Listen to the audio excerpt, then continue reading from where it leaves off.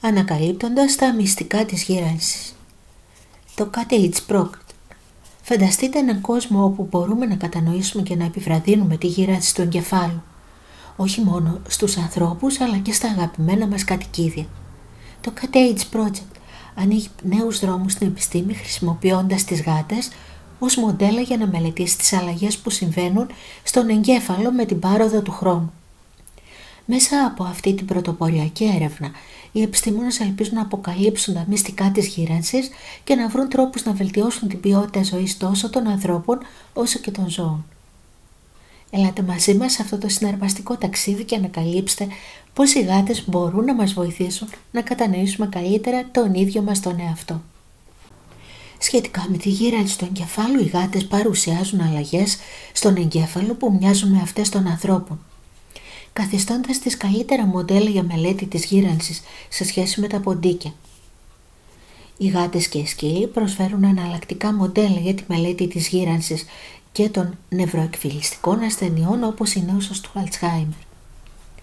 Το Project Cottage Project συλλέγει δεδομένα για την υγεία των γατών για να μελετήσει τις αλλαγές που σχετίζονται με την ηλικία.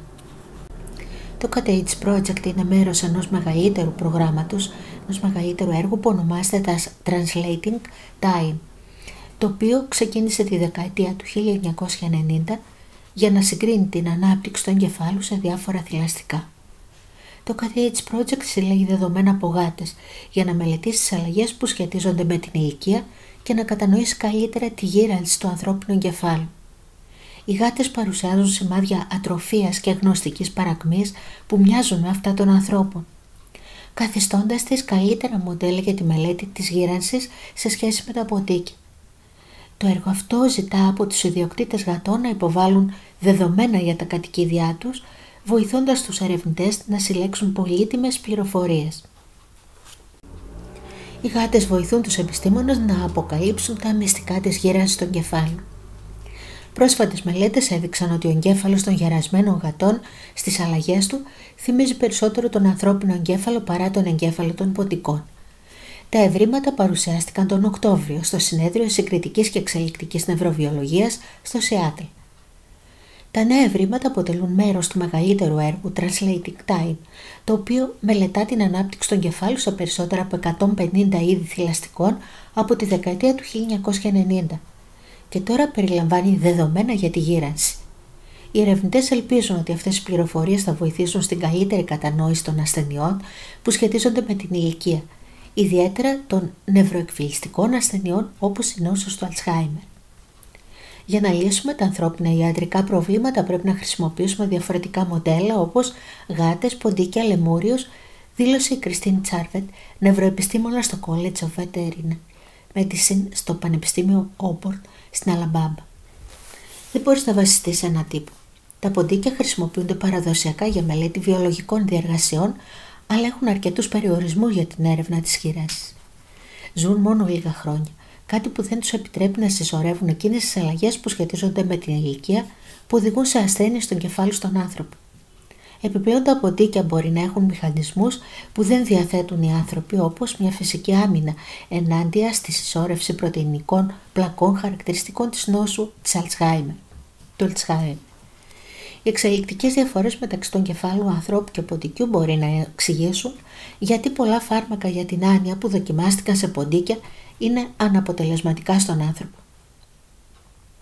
Οι εγκέφαλοι των ποντικών είναι πολύ διαφορετικοί από τους δικούς μας δηλώνει η Ελένη Γκουεβάρα, μια εξελικτική γενετιστής πρωτευόντος στο Πανεπιστήμιο Τιούκ. Οι γάτες και οι σκύλοι παρέχουν εναλλακτικά μοντέλα για μελέτη γύρανσης. Σε αντίθεση με τα ποντίκια ζουν περισσότερο, μοιράζονται ενδιατήματα με ανθρώπους και υποφέρουν από παρόμοιες ασθένειες όπως διαβήτης και παχυσαρχία.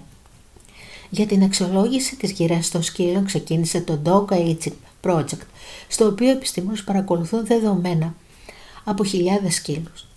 Ωστόσο, οι σκύλοι υπόκεινται σε σκόπιμη επιλογή για αιώνες και πολλές ράτσες έχουν γενετικές προδιαθέσεις για ορισμένες ασθένειες. Οι γάτες έχουν υποστεί λιγότερη επιλογή, γεγονός που τις καθιστά καλύτερα μοντέλα για τη μελέτη των αλλαγών που σχετίζονται με την ηλικία. Για τη συλλογή δεδομένων, οι τσαραυτικές συναδελφοί της ξεκίνησαν το Cat Project, που ενθαρρύνει τους ιδιοκτήτες γατών να υποβάλουν πληροφορίες για την υγεία του κατοικιδίου τους. Μέχρι σήμερα η ομάδα συνέλεξε δεδομένα από κτηνιατρικές κλινικές και σαρώσεις εγκεφάλου σε περισσότερες από 50 γάτες. Η έρευνα δείχνει ότι οι γάτες εσωρεύουν πλάκε πρωτενη καθώς γερνούν, θυμίζοντας τα χαρακτηριστικά της νόσου του Αλτσχάιμερ στους ανθρώπους, προκαλώντας γνωστική έκπτωση στον εγκέφαλο των γατών καθώς γερνούν.